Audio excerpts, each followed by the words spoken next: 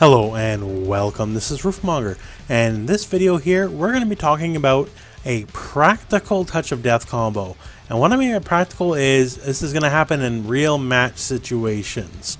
So this was discovered by Leffen, and it involves, well, it specifically involves Android 21 and Super Saiyan Vegeta. The third person can be pretty variable, but yeah, this combo is practical from zero bars, and not even zero bars, from like literally the round one fight position. So you can be pretty far back. You can't be exactly full screen, but you can be roughly about this distance to the corner facing that way, and it'll still work. So I'm just going to show you it real quick here.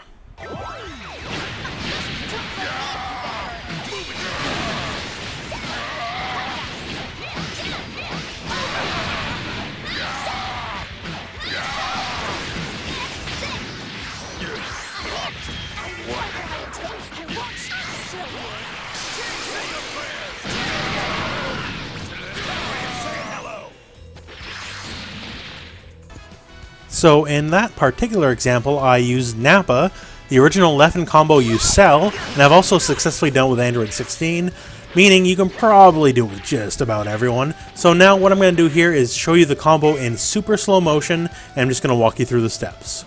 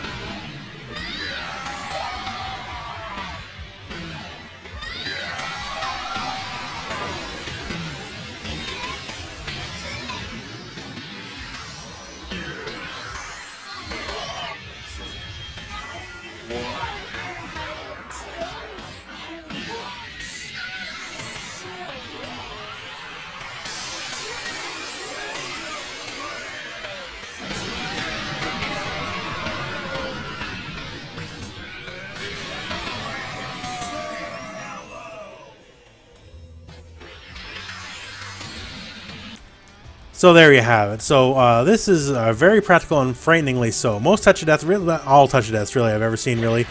Uh, they're always like corner only, seven bars, both assists, like you know, and no variance allowed in the team layout. This is zero bars. You can literally do it at the start of the match.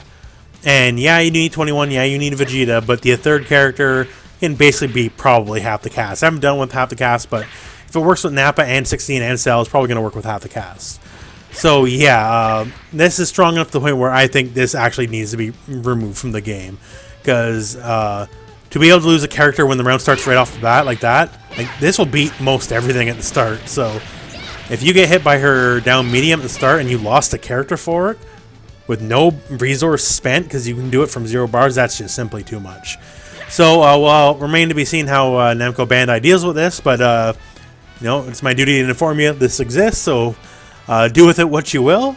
And uh, that's it for this video. So thank you very much for watching. Hope this video found you well. Go out and play some Dragon Ball.